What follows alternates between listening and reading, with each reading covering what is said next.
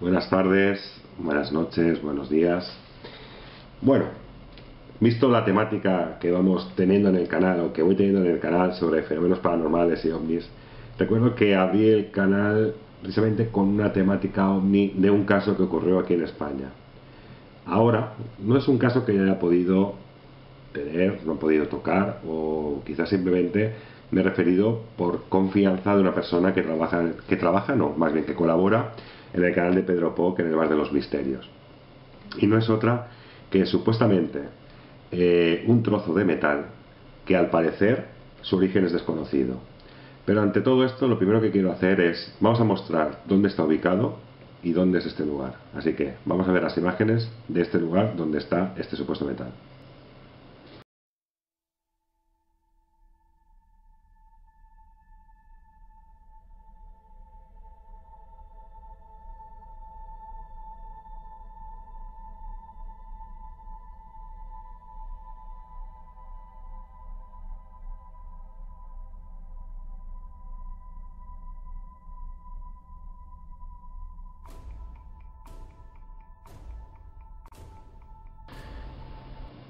Bueno, una serie de imágenes explicativas. Muchos habréis visto que es un museo con la temática de la ufología, con la temática ovni, donde parece ser que hay ciertos aspectos, hay ciertas eh, recortes de prensa, información ovni y sobre todo por el, del lugar donde está ubicado, que sería en Victoria, en Entre Ríos. Deciros eh, que la ubicación de, de este museo no ha sido aleatoria, no ha sido bueno, quizás aquí era muy barato el tema de el museo, no, nada, nada que ver con la, con la realidad. Simplemente parece ser que en esta población de Victoria Entre Ríos los avistamientos ufológicos son bastante abultados, o sea, gran cantidad de gente parece ser que tiene estos avistamientos y puede ver surcar los aires o surcar el cielo de esta población argentina con bastante frecuencia. Pero vamos a entrar en lo que sea la materia de uno de los casos que, como he dicho antes, Fernando aporta y que llama mucho mi atención. De hecho, llama tanto mi atención que me pongo en consecuencia a buscar todo tipo de información, tanto para bien como para mal. Tengo que decir que en los medios de Internet está la parte más crítica con este fenómeno, sobre todo con el tema de la placa, y está la parte, digamos, más creyente. O sea que tenemos siempre las ambigüedades de lo que sería cualquier temática del misterio. Pero vamos a ir en profundidad y vamos a decir las cosas como son. No, hay que mentir, no hay que decir eh, algo que no es así. Y no es otra cosa que el 26 de marzo de 1991, en prensa, en el Heraldo de, de Concordia, una publicación de la Argentina, sale una noticia con un pequeño recuadrito explicando que ha ocurrido algo parece ser que es del todo, cuanto más, si no, extraño. Así que os dejo con esa noticia para que veáis una realidad.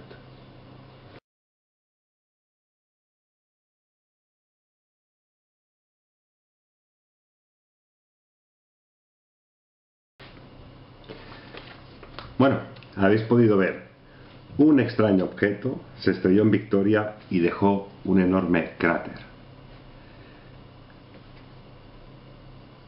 Esto recoge lo que es la prensa seguramente que al día siguiente, recordemos, 26 de marzo de 1991. Recoge simplemente esta pequeña noticia, es la única pista, vamos a llamarlo así, que podemos tener.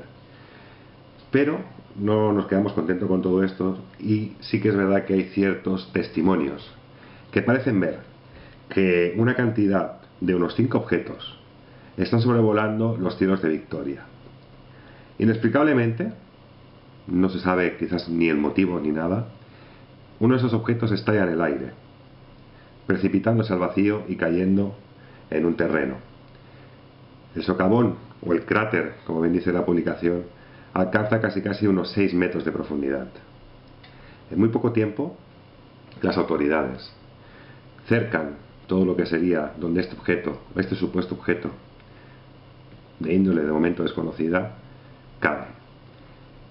Imaginaros que incluso la información que me, llega es que ni la propia policía local tiene acceso directo a poder ver este objeto o poder ver qué es lo que están haciendo. Simplemente una gran grúa extrae este supuesto, este supuesto objeto, limpia la cantidad de pedazos y recoge la cantidad de pedazos que las proporciones de la caída imagino que serían bastante fuertes y el estallido hace que tenga bastantes pedazos y los recoge todos.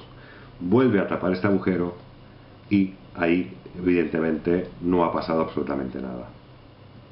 Cuanto más es curioso, siempre vamos a las mismas. De momento que eh, algún objeto de índole desconocido, algo que desafía incluso las leyes de la gravedad o que no entendemos bien de dónde puede proceder, sí que es verdad que parece que hay un control exhaustivo de ciertas autoridades que en un momento dado y muy rápidamente esas autoridades, ese ejército, incluso por algunos más creyentes de la fenomenología hablan de los hombres de negro, aparecen y borran cualquier tipo de huella, de dato.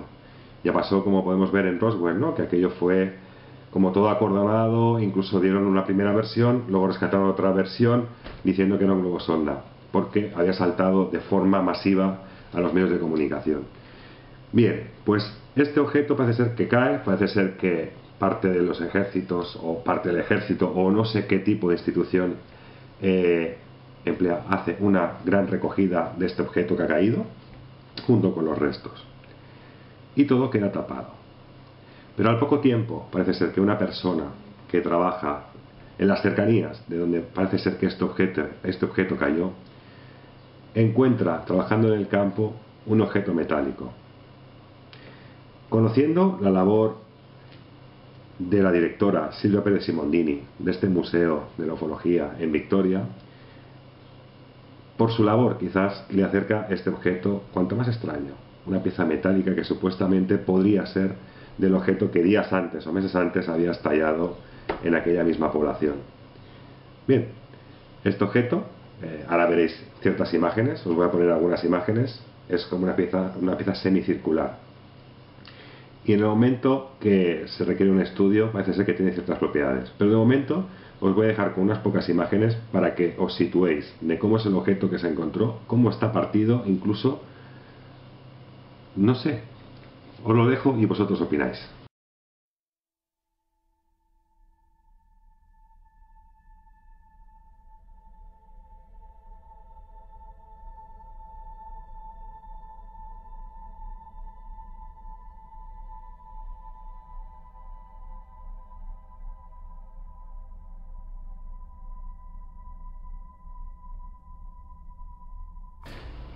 Habéis podido visualizar lo que es este objeto. Como podéis ver, es una pieza metálica, sin más, podría parecer eh, construida o diseñada o cualquier pieza que nos podemos encontrar en cualquier construcción de hoy en día, de un aspecto totalmente metálico. Entre ellos habéis visto quizás también a la directora Silvia Pérez Simondini. Tengo que decir que este, lo que más llama la atención de esta placa son sus propiedades. ¿Qué quiero decir con sus propiedades? Entonces que han colgado algún vídeo y se han hecho ciertos comentarios, incluso los propios propietarios del, Museo OVNI aseguran que tiene cosas cuanto más extrañas, por lo menos no conocidas eh, a lo que lo conocemos hoy en día en tecnología y en base a lo que sería la herrería en esta sección de lo que son los metales. Bien, no es otra cosa que Parece ser, y ahora incluso os voy a dejar un vídeo para que podáis ver este objeto, cuando ciertas luces inciden en lo que sería esta pieza metálica, tiene una propiedad como transparencia. Es decir, si yo ahora mismo pusiera esta placa metálica entre mí y la cámara de vídeo, yo podría ver esa cámara de vídeo y la cámara, no evidentemente con la misma calidad que me estáis viendo ahora, sería capaz de grabarme a mí en la parte trasera detrás de este objeto metálico. Claro, no es conocido todavía ningún metal que tenga este tipo de propiedades. Además, fijaros, se hicieron un estudio, tal, bueno, el señor Punchet, que está trabajando en este museo, asegura que se han hecho estudios de, y se ha analizado químicamente de qué compuestos estamos hablando. Y paso a leeros para que entendáis un poco de dónde sale todo esto. Puchet asegura que es un acero desconocido en la Tierra, que está compuesto de titanio, molibdeno, cromo, níquel, manganeso, potasio, silicio, azufre y carbón. Donde no se puede incluir el hierro, aunque el hierro es el componente principal de cualquier acero. Aquellos científicos, aquellas personas que analizaron este metal, parece ser que intentaron hacer una pequeña réplica o replicar este tipo de aleación y no tuvieron éxito. No supieron realmente hacer este tipo de aleación. Con todo esto, creo que mi explicación se puede entender, pero yo creo que se va a entender más cuando veáis este vídeo. Así que os dejo con el vídeo para que veáis esa transparencia y cómo es el objeto en la realidad.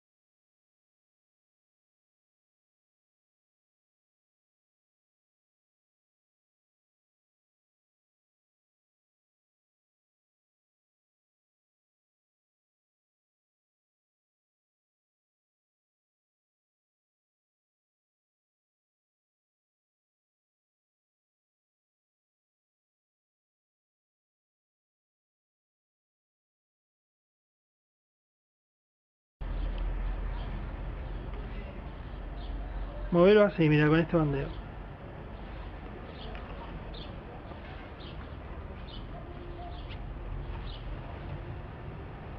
Justo me está dando el reflejo del sol.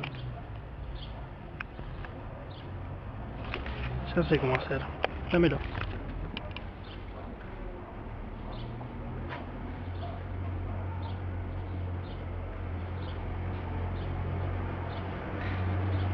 Si no veo mal lo que veo en el lente es que se vuelve traslúcido, ¿eh?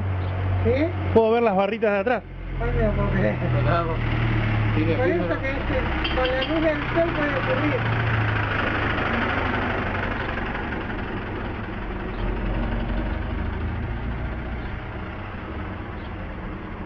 Además se pone como violeta. A ver si lo acercamos más. No, acércaselo a la cara del logo del que tenés atrás tuyo. Sin que me dé el reflejo. O sea, esto así.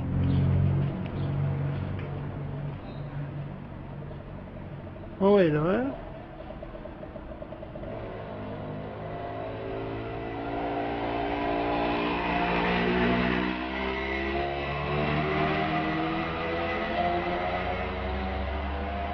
No, es como que cambió el efecto, ¿eh?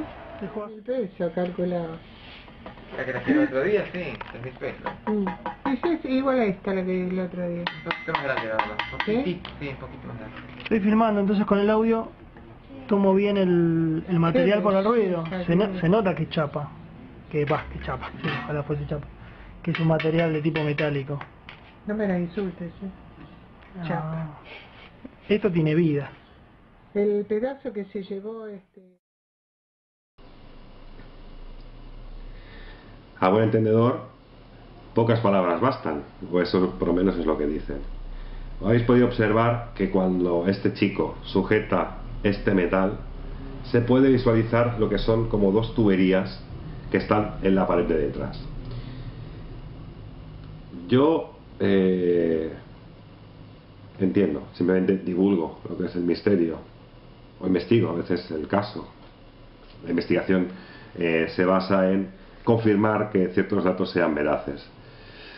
Pero desconozco que un material metálico, como se está mostrando en este vídeo, tenga la capacidad de ser traslúcido. Además, tenemos los comentarios de estas personas, estos investigadores que gestionan este museo, que también nos dicen que es capaz este objeto de mimetizar lo que sería el color o las formas. ¿Con ello qué quiero decir? Con ello quiero decir que muchas veces se habla de que estos objetos, eh, objetos voladores no identificados, que no sabemos su procedencia, insisto, ¿eh? nunca quiero apostillar ni que sean de Marte, ni de Venus, ni muchísimo menos, o que sean intraterrestres, o que sean de donde sean. Supuestamente es una tecnología desconocida, desconocida para la población, a lo mejor para los, para los gobiernos o las altas empresas no es tan desconocida. También quiero postular la parte, como he dicho antes, está la parte más creyente y la parte menos creyente. He leído, he leído diferentes artículos relacionados con esta temática. No son muchos, por cierto, y me encantaría que aquí en España se escuchara este, este posible. Y sobre todo, poder realizar algún análisis, comprobar, verificar de primera mano que estos componentes que he detallado hace un momento fueran reales. Pues bueno, la parte crítica o la parte menos creyente de, de este fenómeno, lo único que está asumiendo son una serie de ratas, vamos a ponerlo así, de que por qué una persona se encuentra con este objeto y este objeto lo da, etcétera y que no coinciden a mejor ciertas cosas. De todas maneras, no veo una comprobación muy fehaciente, tanto para el no, tanto como para el sí. Cuidado, o sea, no quiero decir ni que no ni que sí, simplemente se supongo que cada uno piense lo que quiera. A día de hoy, os voy a dejar con una imagen que se puede ver que este objeto está partido. Sí, tal y como lo estés escuchando, está completamente partido. Y dicen supuestamente científicos o personas que se dedican a estudiar lo que es este metal, que el hecho de tanto uso de sacar a la luz también le hace que puede, digamos, mimetizarse como le puede hacer mal. Es como si fuera como una especie como de pila que en cierto momento cuando la estás usando demasiado pierde esas propiedades y acaba partiéndose. ¿Y qué quiere decir que pierde esas propiedades? Porque en un primer momento, cuando se consiguió este hallazgo, evidentemente se intentó partir esta lámina de acero o aleación desconocida en este momento. Fijaros que intentaron diferentes medios y solamente se consiguió sacar un trozo con un disco de carbón sólido. Algo que es bastante duro, porque intentaron diferentes medios o diferentes métodos y todos fueron un completo desastre, porque no consiguieron ningún trozo de metal. Así que simplemente he querido extrapolar esta investigación que no es investigación, en este caso yo me opto más por el tema de divulgación, que cada uno crea lo que tiene que creer, pero que ahí tiene las pruebas, ahí tiene el periódico que habla de un supuesto avistamiento, una explosión, hay testimonios que ratifican que esa pieza puede ser de esa supuesta explosión, que llega hasta el Museo OVNI y que no sabemos su procedencia. se queda, queda abierto el debate. Evidentemente puede ser tecnología espacial que no sepamos, no, no, no, no, no sabemos bien bien qué es lo que es. Pero cuanto más es extraño y cuanto más la ciencia a día de hoy, por lo menos los científicos más a pie de calle, no tienen idea. Así que simplemente me toca despedirme, un gran saludo y espero que os haya gustado el vídeo. Así que hasta la próxima.